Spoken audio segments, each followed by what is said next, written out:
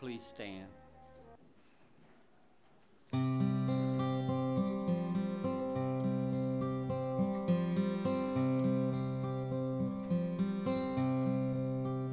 Blessed assurance, Jesus is mine. Oh, what a foretaste of glory divine, heir of salvation, purchase of God, born of His Spirit, washed in His blood. This is my story, this is my song, praising my Savior all the day long. This is my story, this is my song, praising my Savior all the day long. Perfect submission, perfect delight. Visions of rapture now burst on my sight. Angels descending, bring from above echoes of mercy, whispers of love. This is my story, this is my song, praising my Savior This is my story, this is my song, praising my Savior all the day long, praising my Savior all the day long.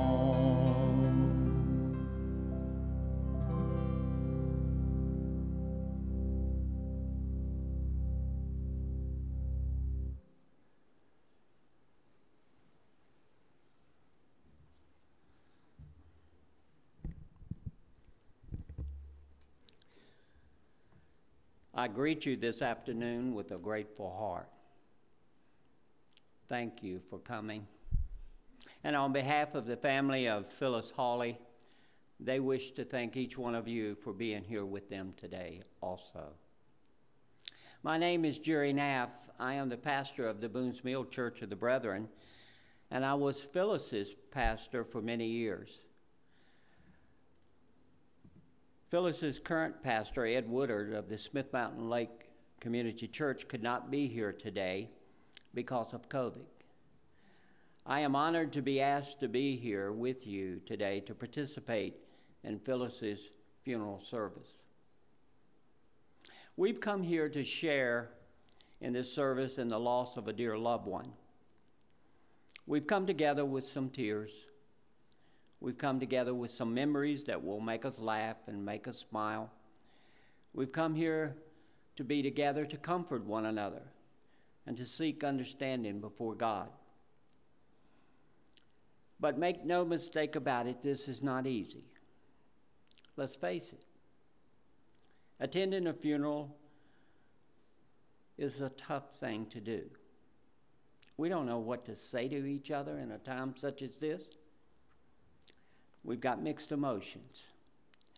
And we probably have some unanswered questions about life, about death, about faith.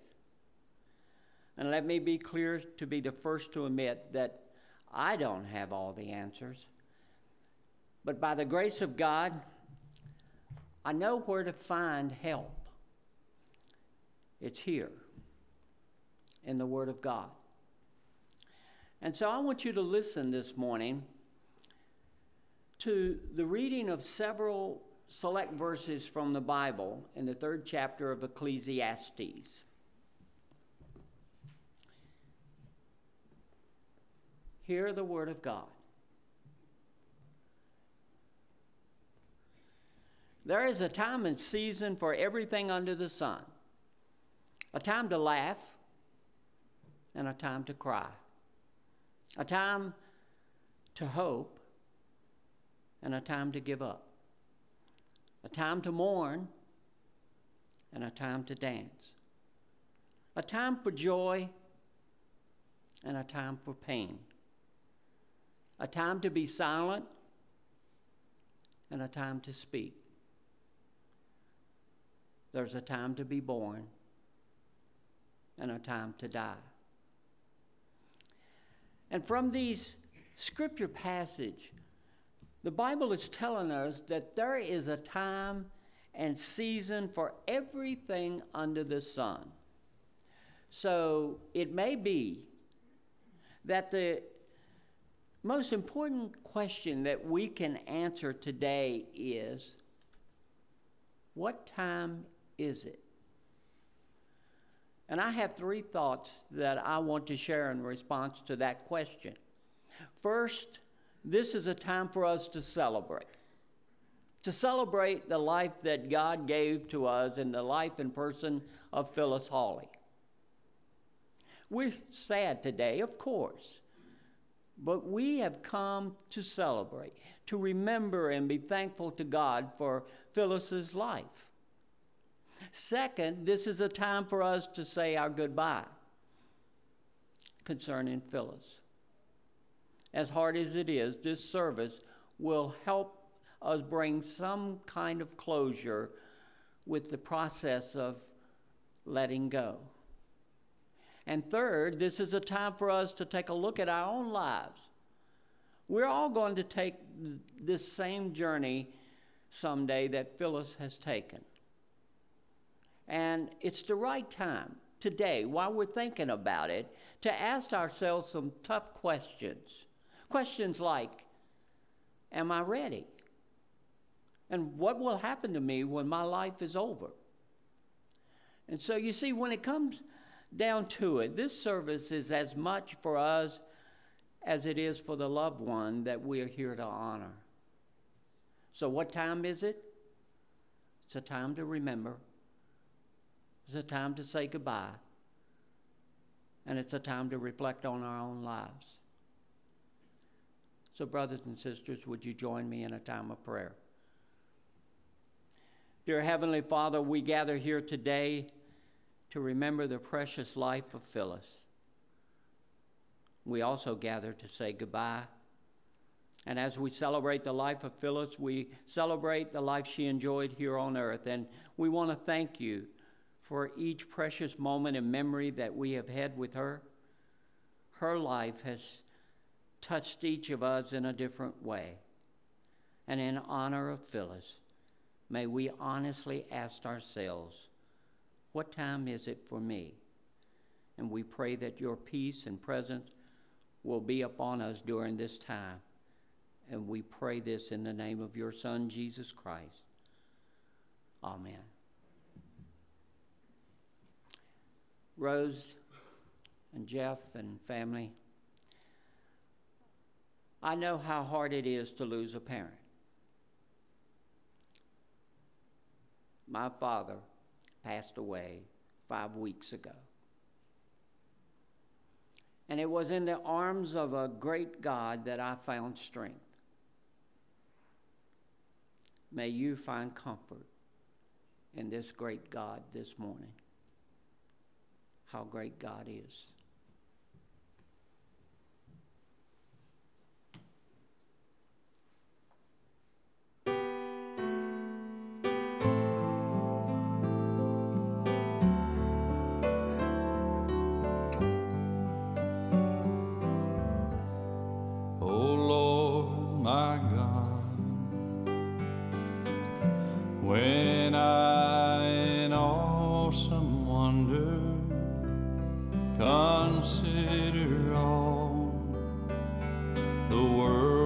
Soul,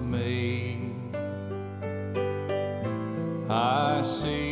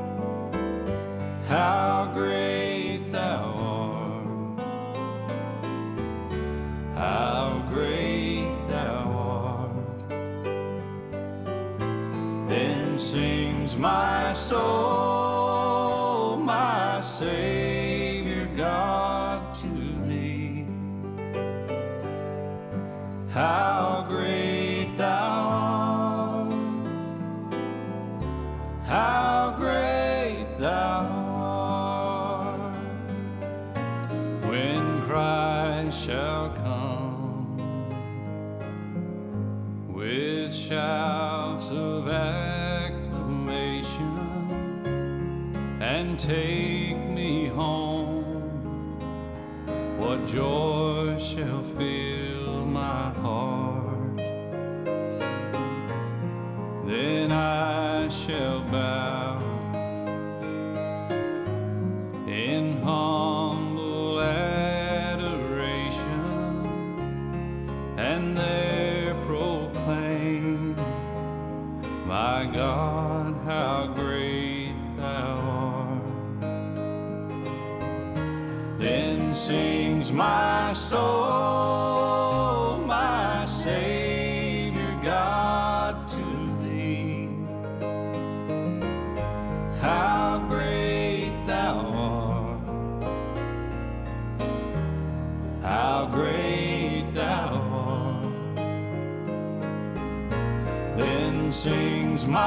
soul,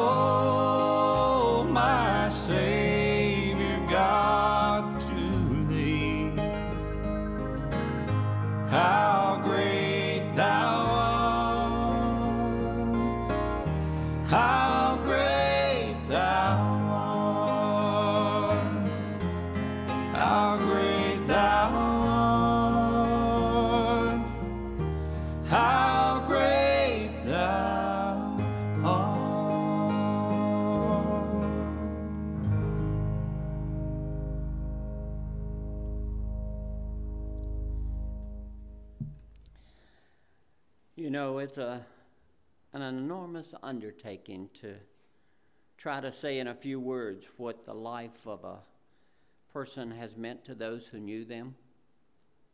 I know I will not adequately say enough about Phyllis's life, about who she was, what she did, what impact her life has had on me, nor on you we can't begin to give a complete picture of Phyllis at all.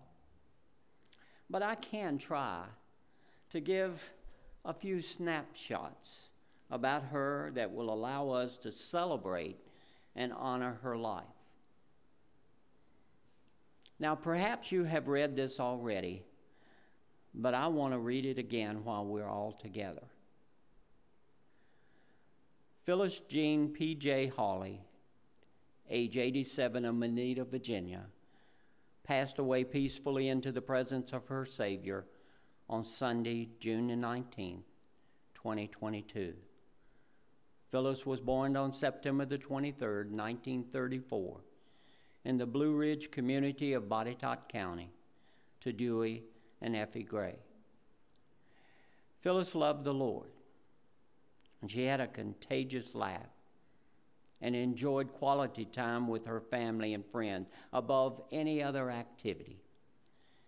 PJ was consistently faithful in her intentionality to bring extended family together for times of fellowship and made it no secret that these moments were among the most cherished. If you ever received a hug from Phyllis, you know that she made you feel like the most important person in her world in that moment. She was both an active and founding member of Smith Mountain Lake Community Church of the Brethren, where she served tirelessly and was affectionately known as the Biscuit Lady. Phyllis was preceded in death by her parents, as well as brothers Welton Gray, Lawrence Gray, Herman Gray, Irvin Gray, and John Gray, and sister O'Neill Grable. She was also preceded in death by son Robert Floyd McCoy, best known as Bobby. Phyllis is survived by brother Charles Gray and Barbara of Boston, Massachusetts, sister in law Mary Gray of Wirtz, and Ingram Gray of Roanoke, son Jeffrey McCoy and Debbie of Goodview, daughter Rose Dudley and Mike of Roanoke. Her grandchildren are Casey Dietrich of Thompson Station, Tennessee, Lindsey Graham and David of Roanoke, Brooklyn Dooley and Eric of Vinton, Jessica uh, Waltall of Roanoke, Kyle Dudley and fiancee Danielle Simpson of Vinton, Walter McCoy of North Carolina, and Jonathan McCoy and Jasmine of Vinton. Phyllis was great grandmother to Rachel, Nathan, Elena, Ava Joy, Ellie and Harper, Maureen and Callum, Lucas and Faith. She is also survived by a host of nieces and nephews who are all incredibly special to her. Now, I know I didn't pronounce all those names right, but you know me. I did the best I could. Phyllis was a unique and special person who will be greatly missed. And I wanted to tell some unique and funny stories today about what made Phyllis special to us, but I have a problem. There are so many stories about her that I don't know where to begin. I even have some personal stories about Phyllis because I have known her for the past 25 years, and I was her pastor for more than 18 of those years. However, with the need to use our time wisely, I have decided to condense and use only a very few select stories to highlight some special aspect of Phyllis's life. Phyllis was a person who enjoyed her family. She enjoyed bowling because I was on her bowling team a couple years. She loved bird watching, going to church. She loved her church family. She loved me as her pastor. She loved baking biscuits, and I think we loved that more than she did. She loved listening to country music and sharing laughter. Now, the thing I remember most vividly about Phyllis was her smile and her laughter. She would make you laugh. Brooklyn uh, told me a funny story about when Phyllis was at a surprise birthday party for her son Jeff. Uh, and she said her granny was walking across the dance floor during that particular party, and she was getting ready to take a seat when all of a sudden somebody told her that they wanted her to dance. And so her granny PJ started doing some very strange dance moves. And it was one that Brooklyn said she had never seen before. And after it was over, someone asked Phyllis, said, What kind of dancing was that? And she just shrugged and said, She was belly dancing. Brooklyn said it was hilarious. And such a simple story is a precious memory of the fun person Phyllis was. One of my most memorable times with Phyllis was on my 50th birthday. She must have had something about birthdays that struck her. I was somewhat her, new as the pastor of the Smith Mountain Lake Church, and she had baked a birthday cake, invited the congregation to celebrate my birthday with each other. And I like to ride motorcycles, and so she had baked this cake and she had put a model of a motorcycle and placed it on top of the cake. And she had 50 candles on that cake celebrating my birthday, and, and so she lit all 50 of them and she was to have me to blow them out. Well, well, well. Phyllis had used a kind of candles that when you blow them out, they start burning again. And so she lit them, she told me to blow them out, and as soon as I'd blow them out, the flames would come back and I would blow. And finally, it was getting out of hand, and everybody else was trying to blow them out, and uh, it just wasn't working. And it caught my motorcycle model on fire.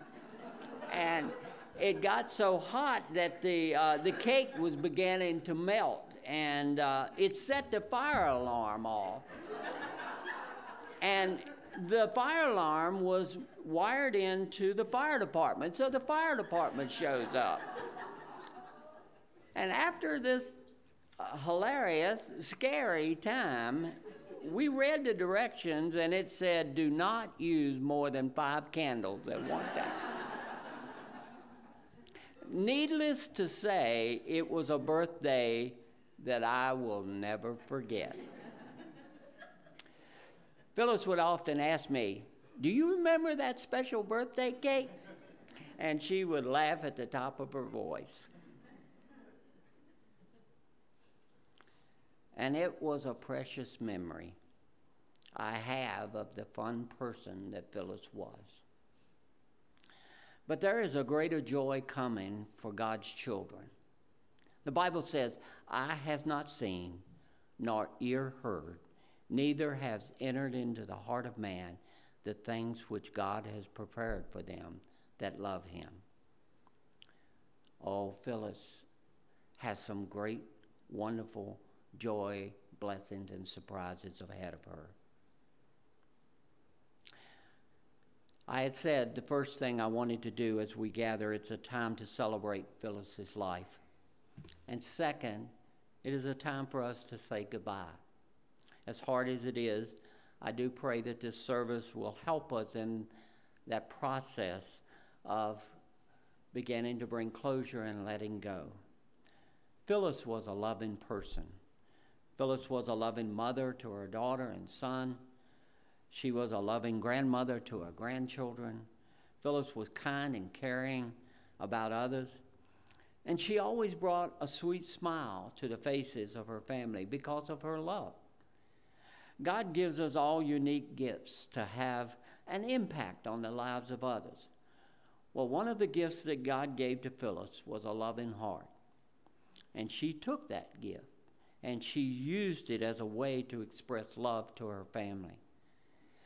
Phyllis's granddaughter, Lindsay, shared with me about how she remembers she would spend time with her granny at the lake, swimming, picnicking, taking the boat out and water ski. She said she could remember watching hee haw with grandma at night and waking up the next morning to the smell of a delicious breakfast that included eggs and bacon, fried apples and gravy, and of course, Granny's favorite biscuits, or famous biscuits, I should say. And that is just a small memory, but it is a precious memory that she had of the special person that Phyllis was. Phyllis loved her family. There's no question that Every one of us wants to be loved, but it's not enough just to want that. You have to show that love. True love is not a, just something you feel, it's something you do, it's something you demonstrate. And that was what Phyllis did by providing for and caring for her family as a mother, as a grandmother, as a friend. You have come here today to say goodbye concerning someone you knew and that you loved and who loved you.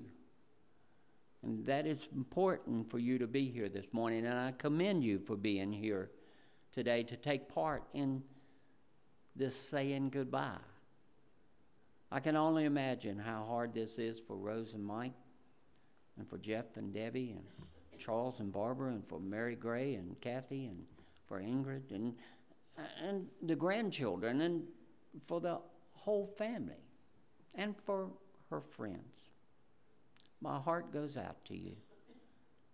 But there is another one here today whose heart goes out to each of you in a, such a greater way, in a way that I couldn't extend my heart to you. And this is what it says about that in John 14 in the Bible. Let not your hearts be troubled. You believe in God. Believe also in me, Jesus said. In my Father's house are many mansions, and if it were not so, I would have told you. I go to prepare a place for you. And if I go and prepare a place for you, I will come again and receive you to myself, that where I am, there you may be also. And where I go, you know. And the way you know. And Thomas said to Jesus, Lord, we do not know where you're going, and how can we know the way? And Jesus said to him, I am the way, and the truth, and the life. Follow me. And may that lift our hearts this morning to know that Jesus is here to lead us. Yes, we've come to say goodbye to Phyllis, but we also rejoice that Phyllis is saying hello to God. As I said, first, our gathering is a time to celebrate Phyllis's life. Second, it is a time to say goodbye. And finally, it's a time for us to take a look at ourselves. We are all going to die someday. We know that. But have you ever asked yourself these tough questions? Are you ready? Or what will happen to me when my life is over? There is a time and season for everything the Bible tells us a time to be born and a time to die. However, sometimes we're not wise enough to understand what time it is in life. Jesus asked, What does it profit a person to be so busy in the world and life to gain the whole world, but then only to stop and realize that they've lost their soul? And then Jesus asked, What would a person give in exchange for their life? We often think that we live now in the day and time in the land of the living. And that when we die, we'll go to the land of the dead. But that is not true. The opposite is actually true. That's not what the Bible teaches. The Bible teaches where we live today is the land of the dying. And when our life here is over, we will go to the land of the living, either to a place of eternal joy with God or to a place of eternal sadness apart from God. There are only two possibility, only two possible designations that the Bible teach. You see, at death, life is not over. Life has changed, but it's not over. There's only one requirement for entrance, we are told from Jesus, into the land of the living. It's not a matter of trying to be good enough, because none of us can be. We'll never be able to do that. It's not going to church every Sunday, it's not about being religious. The only requirement is that you personally believe that Jesus exchanged his life for yours by absorbing your sins on a cross and that he rose again so that at the moment that you believe, you too will rise. But let me ask you this important question. What time is it for you today? You can leave this place the same way you came, in your own ability, trying to give yourself life, trying to make things happen according to what you're able to do.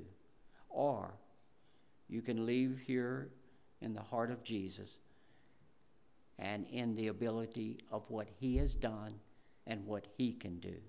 The choice is up to you. Phyllis was not planning to die when she did, but it was her time to go.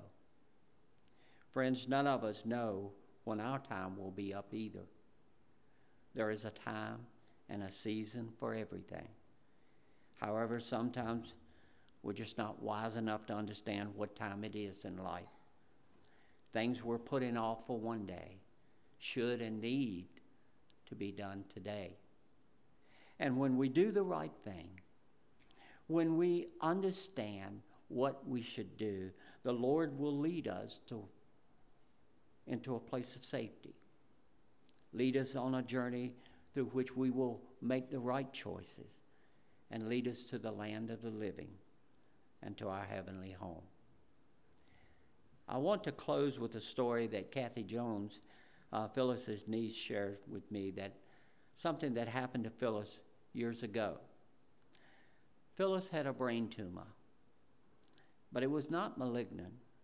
And the doctors performed surgery and removed it.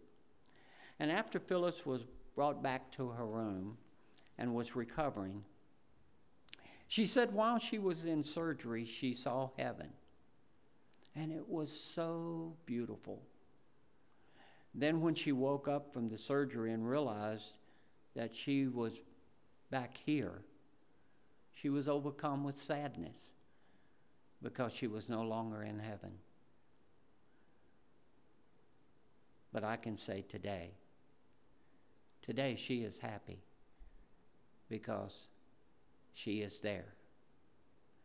God is calling each of us to get ready, calling us to come home to his loving embrace. The Heavenly Father has called Phyllis, and I'm sure with a smile and probably telling a joke, she has been called to her heavenly home.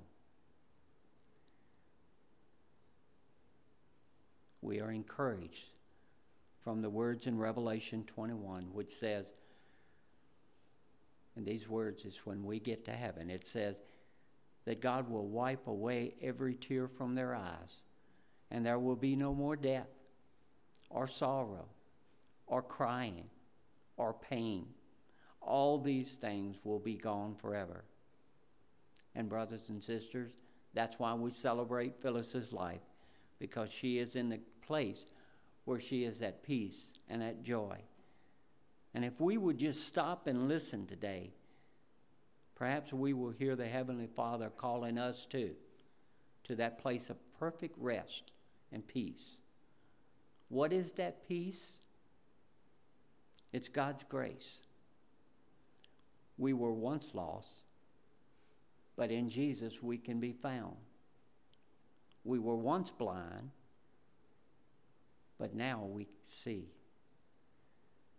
It's all because of God's amazing grace. May you be blessed by this song.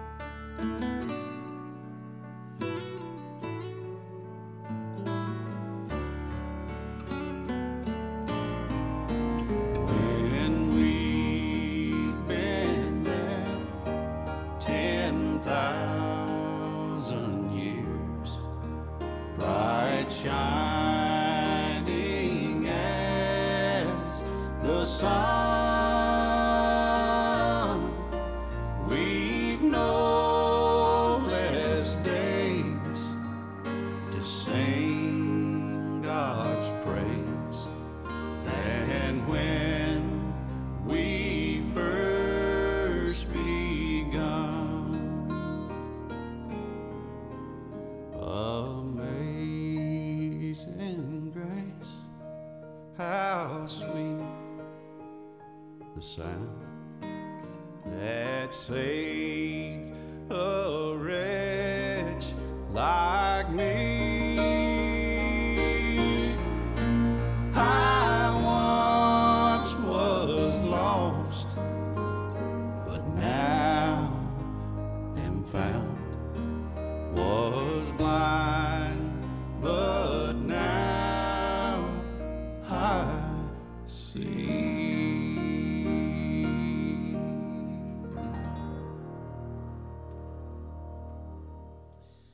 you pray with me? Eternal and loving God, for everything there is a season and a time for every matter under heaven. Lord of all creation, we have rejoiced for the life of Phyllis being in our lives. And our hearts have been also feeling the sadness and heaviness in a time of our grieving and saying goodbye. Give us your comfort, dear God, and especially to Rose and to Jeff and all the other family members and friends in this hour.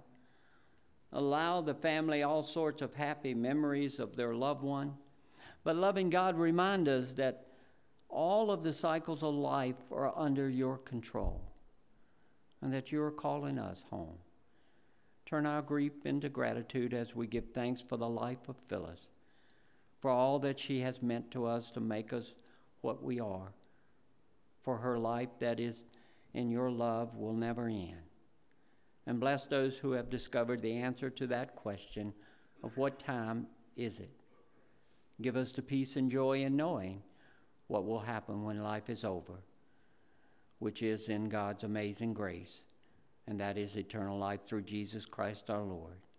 May we always hear your never ending voice calling to us, calling us home. And we offer this prayer in the name of Jesus Christ our Lord. Amen. This service will conclude at the graveside, and we'll now turn over this part of the service to the funeral director.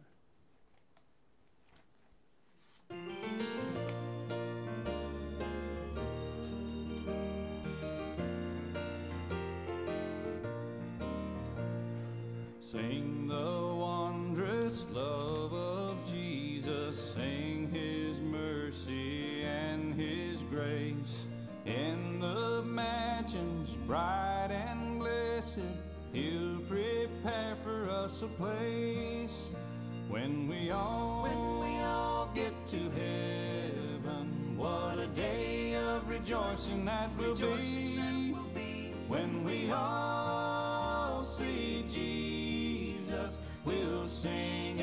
shout the victory. Onward to the prize before us, soon his beauty will be behold. Soon the pearly gates will open, we shall tread the streets of gold. When we all, when we all get to heaven, what a day of rejoicing that will be.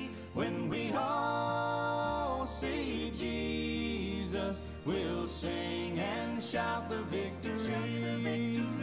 When we all, when we all see Jesus, we'll sing and shout the victory.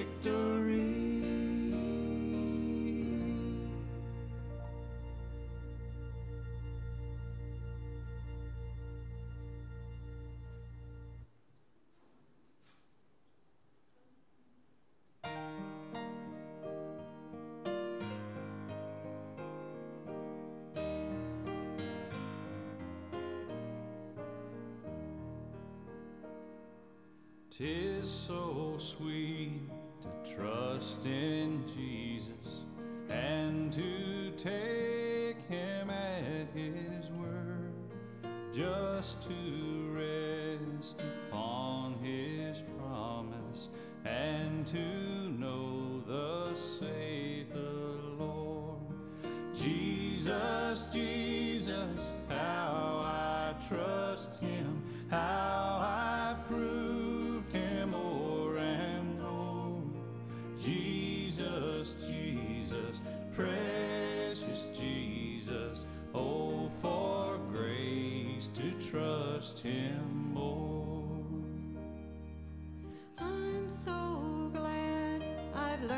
to trust thee, precious Jesus, Savior,